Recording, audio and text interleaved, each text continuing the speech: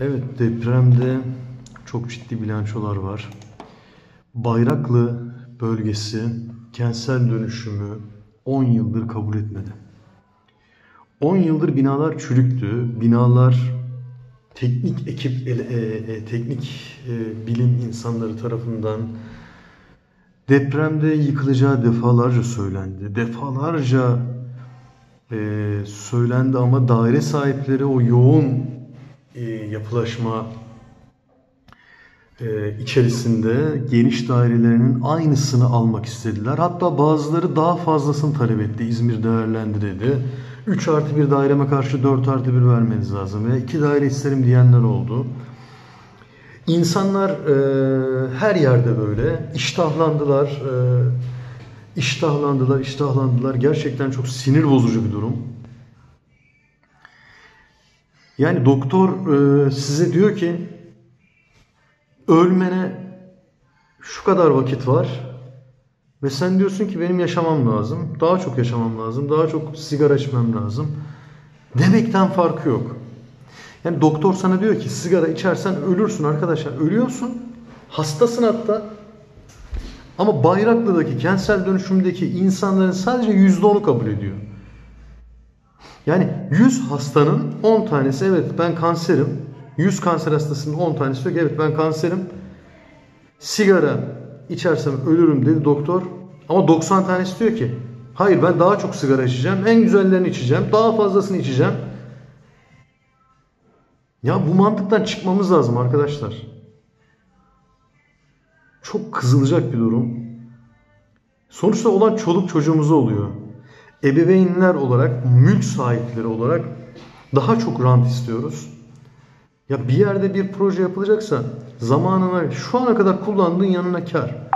Yoğun bir imar yapılaşması varsa bunu şöyle düşünmeniz lazım. Yoğun bir imar yapılaşması varsa oranın artık tabiatını yok eden zamanında kaçak yapılaşmadan kaynaklı 150 metrekare 3 artı 1 dairede oturuyorsan yüksek katlı ama şu an şehirci ilkeleri gereği orada yapılabilecek yoğunluk maksimum 2 emsalse sen de şu an 4 emsal üzerinde oturuyorsan kentsel dönüşüme girdiği zaman 2 emsalden yapılabilecekse e bir de bunun müteahhit masraf var. Kendinde vermek istemiyorsan kimse kimseye bedava bir şey yapmaz.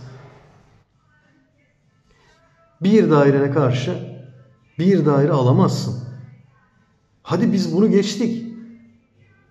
Bayraklı'da bir sürü insanımızın vefat ettiği Bayraklı, İzmir Bayraklı'da bir dairem var, benim üç çocuğum var, bana üç daire ver diyenler çıkıyor ve kentsel dönüşümün önüne sekte koyuyorlar. Kentsel dönüşüm bir türlü ilerlemiyor. Kentsel dönüşümdeki mantık çoğunluğun kararı. E çoğunluk karar vermeyince böyle böyle olabilir mi ya? Çoğunluk karar vermiyor.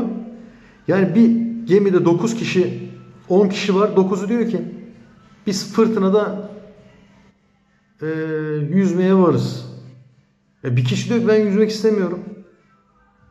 E, buna bir mani olacak bir şey yok mu? Kentsel dönüşüm politikamızın tekrar baştan ele alınması gerekiyor. E, olayın tamamen profesyonel, mimarlık, mühendislik, şehircilik ilkeleriyle, siyasi ilkelerle değil, Bakın siyasetçiler de orada daire sahibi veya siyasetçiler artık zaten almış başını yürümüş. Villa, yalı, köşk sahibi olmuşlar ama siyasetçiler akrabalarının baskısında, seçmenlerin baskısında onların sözlerini çiğneyemeyiz diyorlar. Dolayısıyla kentsel dönüşüm politikalarında siyasi kararlar da tıkanıyor.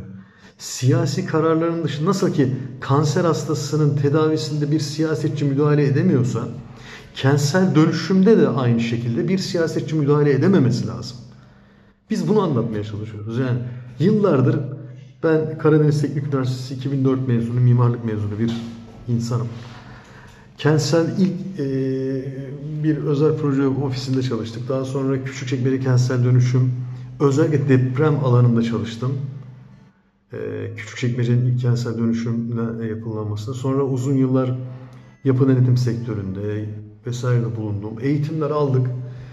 Ama hep şu ızdırarım, şu inkisarım oldu. binalarla ilgili kararları ya bina bir vücutsa sizin canınızı emanet ettiğiniz bir vücutsa binalarla ilgili kararları siyaset makamı alıyor ve siyaset makamının içerisindeki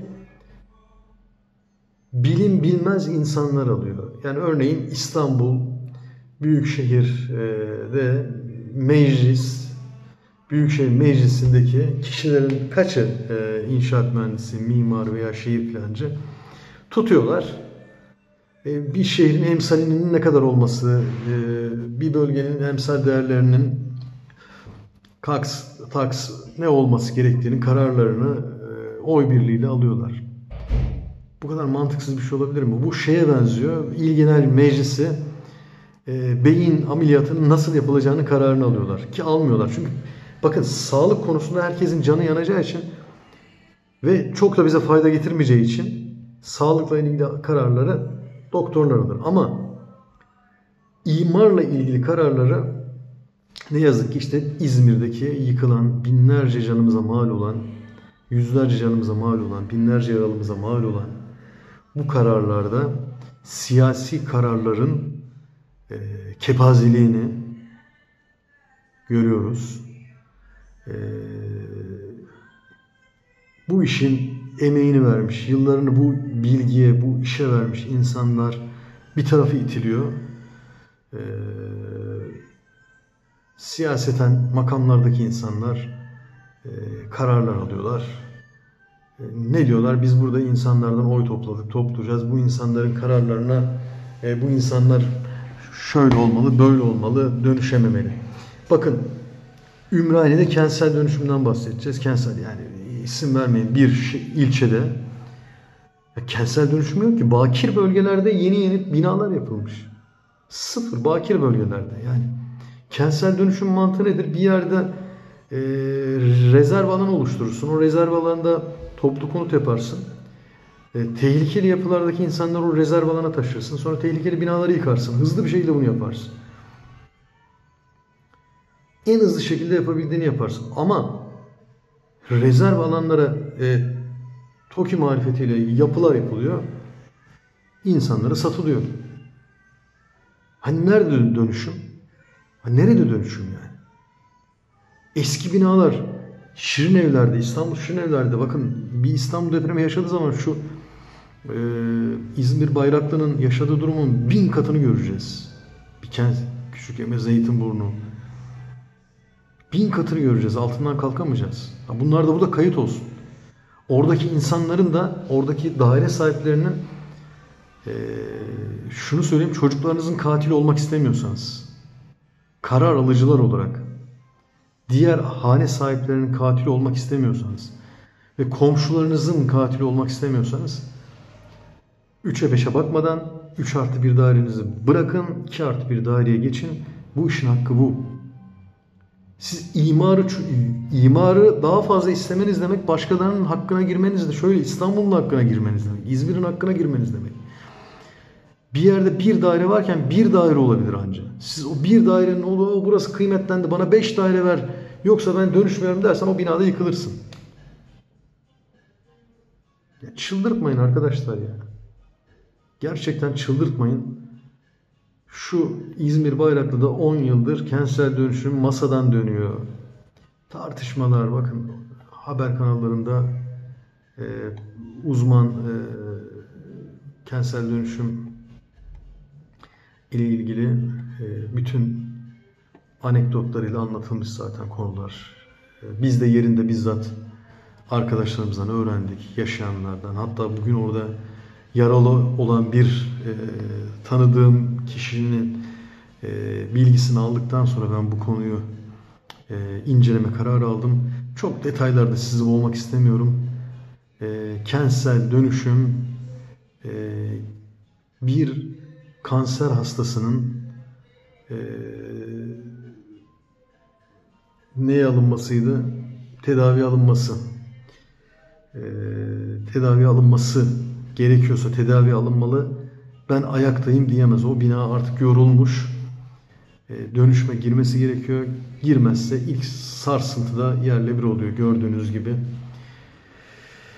Beni dinlediğiniz için teşekkür ederim. Ee, isyanlarım halkım için, insanım için, mesleki sorumluluğum için sonunda ifadelerimin çok da bir yere gidecek bir yanı yok. Ee, tekrardan milletimizin başı sağ olsun. Hoşçakalın.